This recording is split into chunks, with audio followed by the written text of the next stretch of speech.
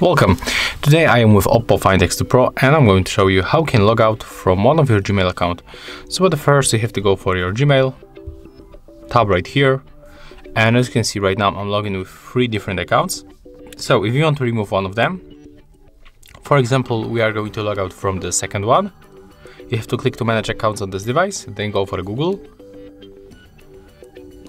And right now let's tap on the right upper corner click here and tap on the right upper corner. Click to remove account, confirm. And when we go back to the Gmail, after a few moments, the account will be removed. And as you can see right now, we are logging with only two accounts.